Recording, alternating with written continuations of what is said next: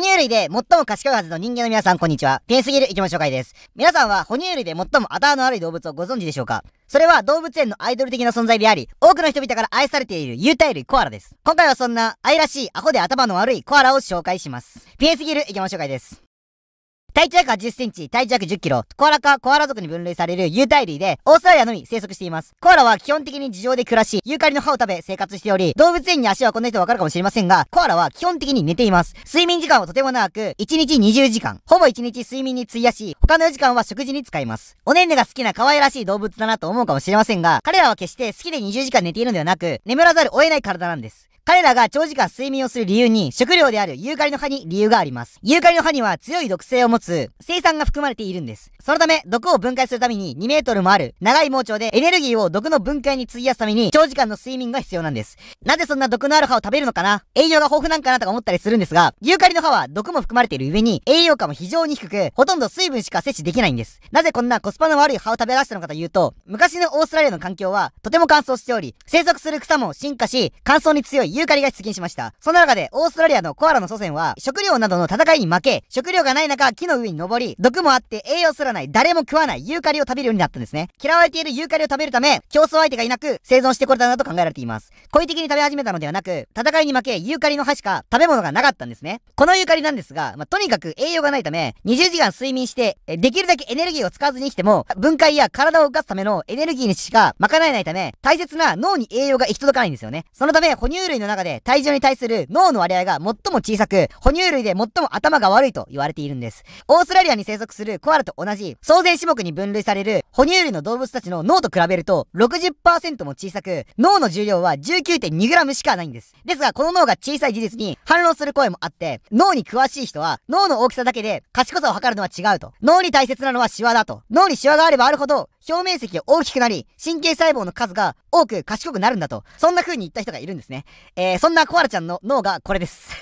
ツルツルですよね。文句なく脳を見る限りアホなことがわかるんですね。哺乳類で最も体重に比べ脳が小さく、かつツルツルなコアラちゃんなんですが、多く頭の悪いアホ伝説があるので、それを紹介します。え、先ほども言いましたが、ユーカリの葉は栄養がなく、水分も多く含んでいます。そのため、ほぼ水を飲むことはありません。飲む必要がないんですね。え、それらの理由から、名前のコアラも、先住民族のアボリジニの言葉で、水を飲まないという意味があります。ですが、必要のない水をごくごくと飲んでしまうことがあるんですね。森林火災が起きた際に、善意で水をあげる人がいて、コアラは頭が悪い悪いので、自分が水を飲まないことを忘れて人間から水をごくごもらうんですよね。結果、多く水を飲みすぎて、溺れ死んでしまいます。水がないところで溺れてしまうんですね。野生のコアラがいて、水を欲しそうにしてても与えてはいけません。飲めると勘違いして勝手に溺れます。このように飲めないものを飲んだりして死んでしまうこともあるんですが、食べられるのに食べずに餓死してしまうこともあるんです。動物園にコアラを見に行くと、人工的に組まれた木の上に枝のまま食事が置かれているんですが、葉っぱだけ虫って与えた方がめんどくさくないし、コアラも食べやすいんじゃないかなって思っていたんですが、アホなコアラちゃんは、毎日食べてるユーカリを枝ごとではなく、葉っぱだけ渡すと、それが何なのかわかんなくなって、食事を取れなくなってしまうんですね。枝と一緒についていれば食事と認識することはできますが、葉っぱ単体だと何かわかんなくなって食べられなくなってしまうんですね。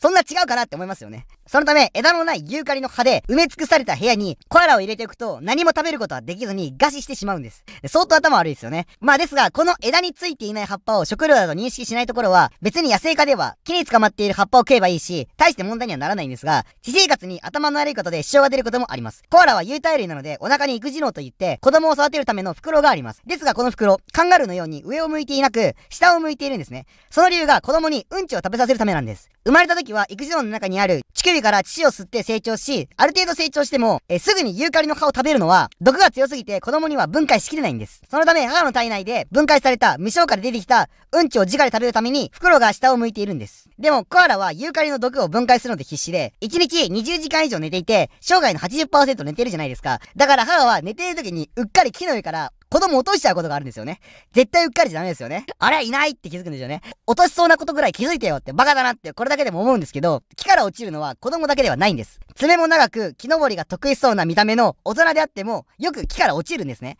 木がツルツルしているわけでも、敵に襲われたわけでもないのに、何もないところで落ち、え地面に頭をぶつけることが多くあるんです。ですが、バカなコアラだって少しずつ進化し、進歩しているんですね。え、その進化している場所というのが脳なんです。小さくてツルツルだと馬鹿にした脳にもいいところはあるです。コアラの脳が収まる頭蓋孔という脳が入る空洞があるんですが、そこに他の哺乳類よりもはるかに大量の脳脊髄液が入っているんですね。まあこれも脳が小さいからたくさん入るんですが、この脳脊髄液が進化につれ多くなっていったんですね。で、この液にはどんな役割があるのかというと、木から落ちて頭打った時にクッションの役割があって守ってくれるんですね。で、つまり木から落ちないようにするよりも落ちても大丈夫なようにしたんですね。落ちる前提できてるんですよね。木登り上手くなればいいのにね。俺の小さいから脳脊髄液たくさんあるんだ。頭小さくてラッキーじゃないんだよ。落ちても大丈夫じゃないんだよ。これらの頭が悪い問題とかも含め、解決策があるんですよね。え、それは、コアラちゃん、ユーカリを食わなければ解決するんです。ユーカリを食べるから栄養なくて脳にも届かない。毒があるから寝てないといけない。うんちを食べさせようとするから子供が落ちる。毒のない葉っぱを普通に食えばいいなって思うんですけど、さあ、彼らはいつ気づくんでしょうか？はい、いかがだったでしょうか？哺乳類で最も頭が悪いコアラを紹介しました。食っちゃねえの生活とよく言いますが、本当にコアラこそ食っちゃねえの生活で、20時間寝て起きたら、頭使うことなくひたすらユーカリ食って、うんちして、そのうんち食わせて、また寝るの生活です。悪い意味じゃないんですけど、頭が悪いやつって可愛く見えますよね。えー、そんなのんきに可愛く生活しているコアラは動物園に行けばね、見ることは可能ですので、ぜひ動物園に足を運んでみてください。以上、動物園のバカなアイドルコアラを紹介しました。ご視聴ありがとうございました